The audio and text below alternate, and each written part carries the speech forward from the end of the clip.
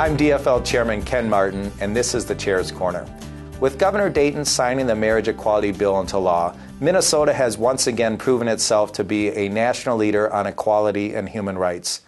This historic law ensures that committed, loving same sex couples throughout Minnesota are able to enjoy the same freedoms and rights as others in our state. Future generations of Minnesotans will look back on this moment and thank our state for standing on the right side of history and standing up for thousands of Minnesotans and their families. I am pleased to have one of the key players in the work for equality, Representative Karen Clark, who was the chief author of the marriage equality bill in the House, joining me here today. Thank you so much for being here with us, Karen. Thank you, Ken. Well, as, as you know, uh, in April 2011, the Republican led legislature put a constitutional amendment on the 2012 ballot asking Minnesota voters to define marriage as between a man and a woman. Mm-hmm. To defeat the amendment, Minnesotans came together through Minnesotans United for All Families, which you and I served on the board Same. together. Um, and they were successful in defeating that amendment, 51 to 47 percent.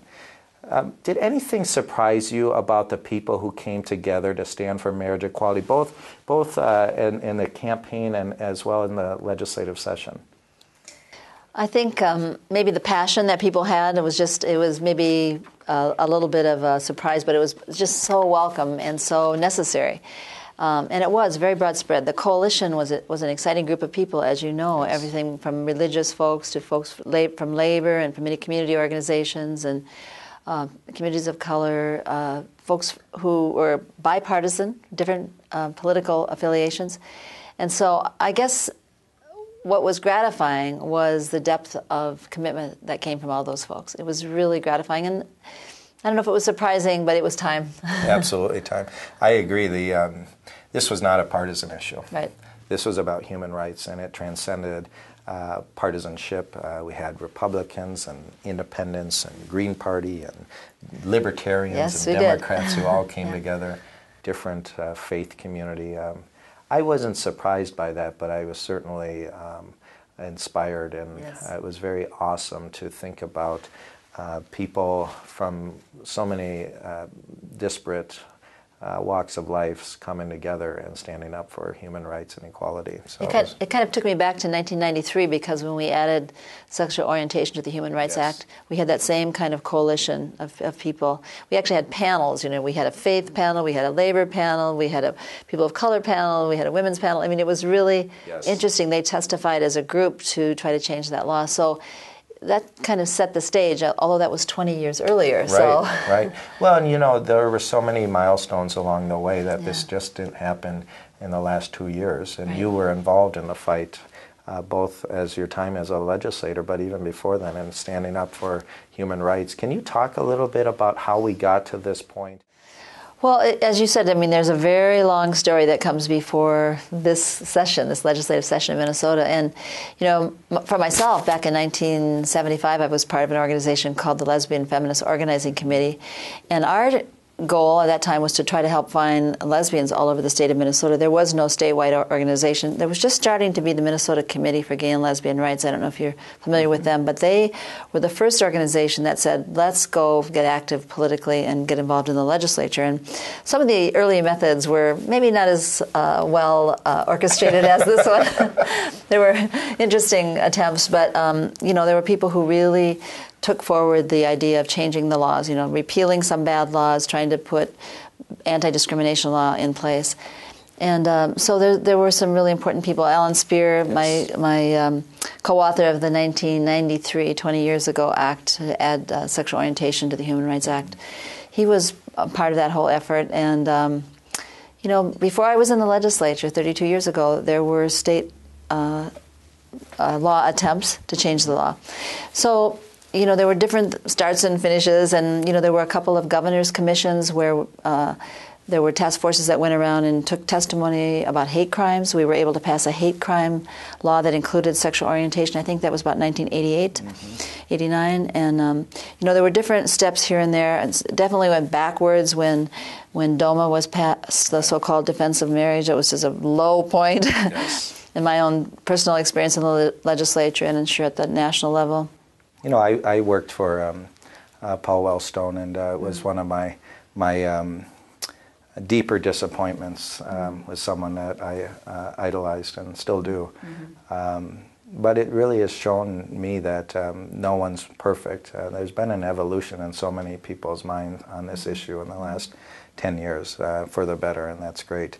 But it has been a long, long mm-hmm. fight to get here. And I think about Allan Spear and being uh, the first openly gay uh, member of our legislature, and certainly one of the first openly gay elected officials in this country, mm-hmm. uh, to stand up courageously as he did in the 70s. Um, you know, uh, that's not where it started, but certainly it helped us move the discussion forward, and your leadership and Senator Dibble's leadership helped move this forward as well. This is not the end right. for equality. All right. This is not the end of discrimination. We know that there's so many other important issues that affect all of our families and the LGBT community, but it's certainly a good start in the right direction. What does this law mean for Minnesota um, from your perspective? Well, it, it really does mean equality for many, uh, many LGBT families and uh, it means protection for the kids. Yes. You know, it means so much more, though. It's so interesting. I, my colleagues in the legislature, some of them took very big risks to vote for this legislation. It was, it was um, hard for some of them. Their district had voted for that terrible constitutional amendment in some cases, um, and they were nervous about it. But I love uh, quoting uh, one of my legislative colleagues, 27 years old, and said, "Well, of course I'm voting for this legislation. My my generation thinks this is the way it should be." Right.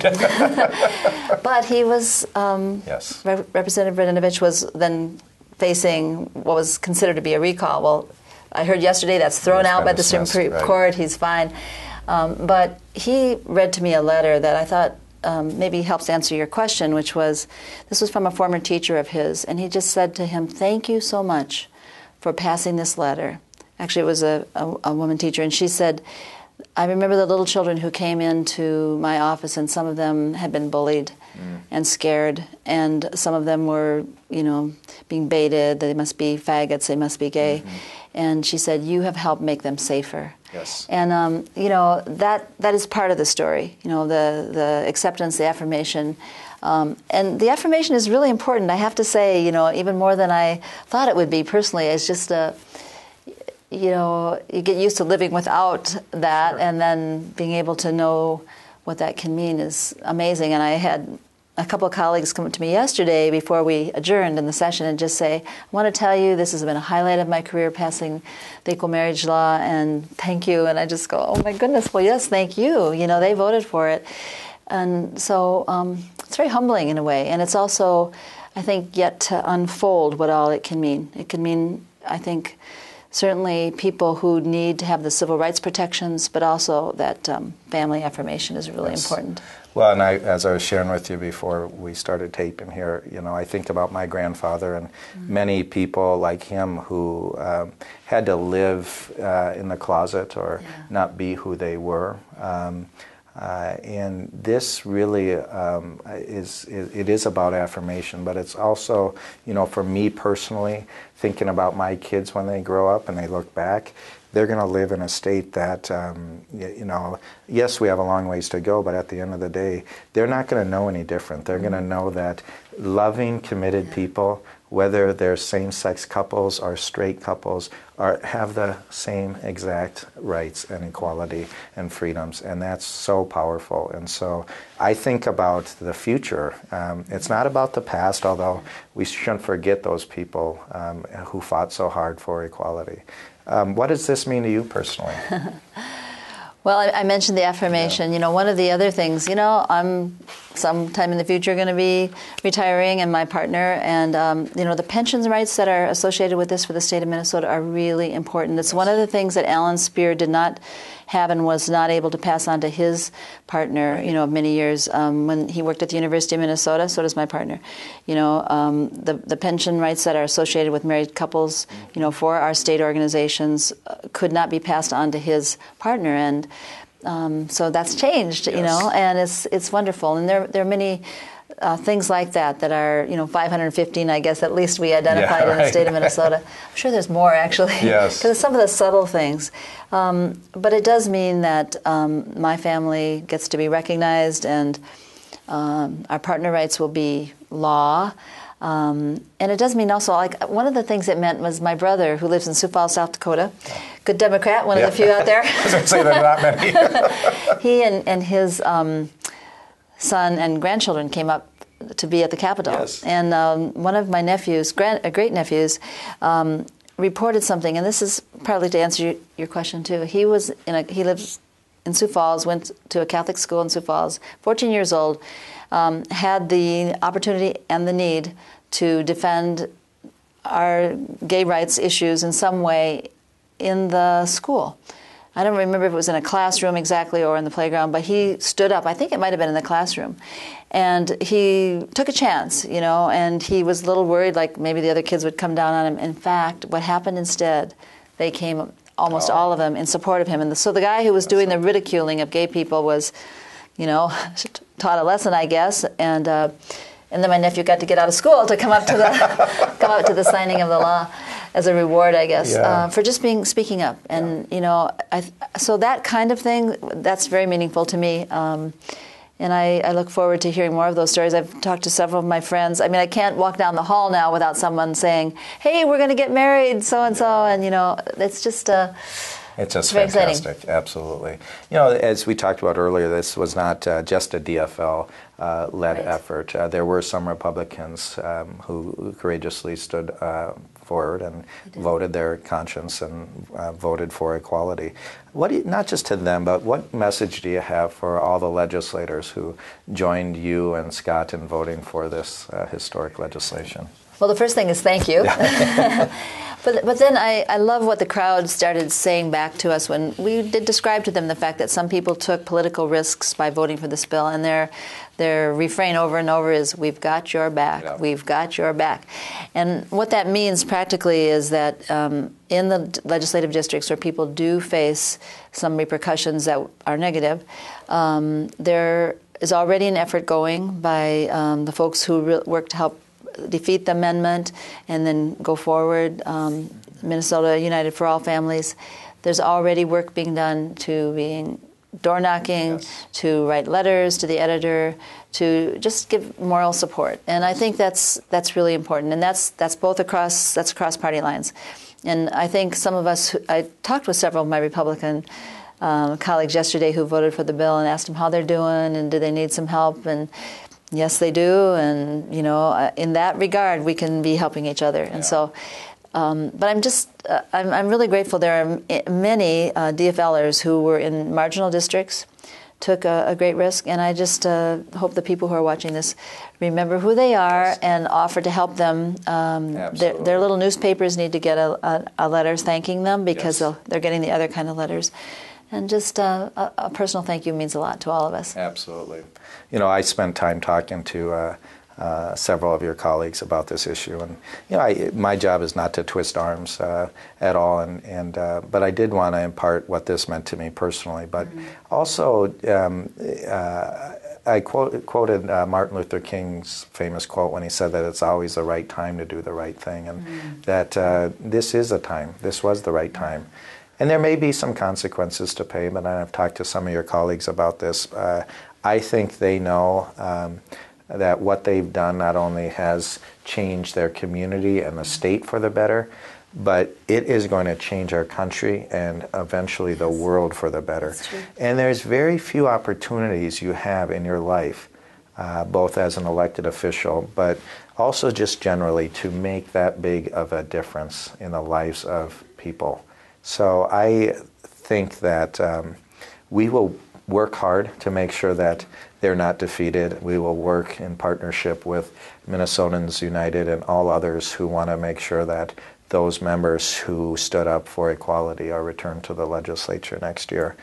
Um, and, and what, is, what about with Governor Dayton? Um, uh, you know, obviously he was a very strong supporter of Oh, this, yes. um, and his leadership on this, I think, particularly the State of the State address and other Mm-hmm. uh, points throughout the session, was critical in helping here too. Oh, his leadership made all the difference. I'm, I'm very grateful to Governor Dayton. He, he just was so steadfast and he, he spoke to people at all levels and, you know, across many cultures too. I didn't mention that, but that's one of the things I can say that is very meaningful to me about this.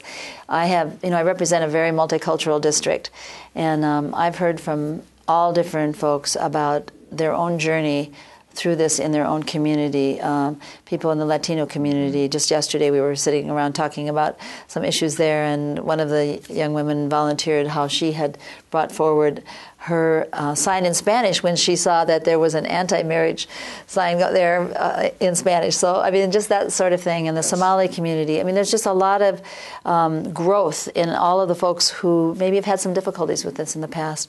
But Governor Dayton's um, leadership meant a lot to them, and it meant a lot to our whole state. And I, I think he he uh, helps us crossed many barriers, and and I'm very grateful to him. Yeah, well, we couldn't have done it without so many people coming forward, but really we couldn't have done it without you and Scott for your leadership over the years. Uh, even even five, six years ago when I was running campaigns, I remember talking with Scott and you about this issue. And, you know, the, it, it was such a different time then, and no yes. one thought even uh, that short of a time ago that we would ever be here uh, this quickly.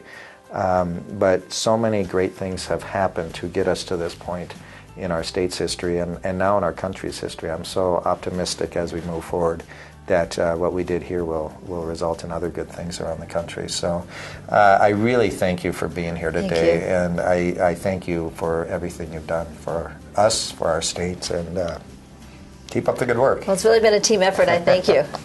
yeah, thank you.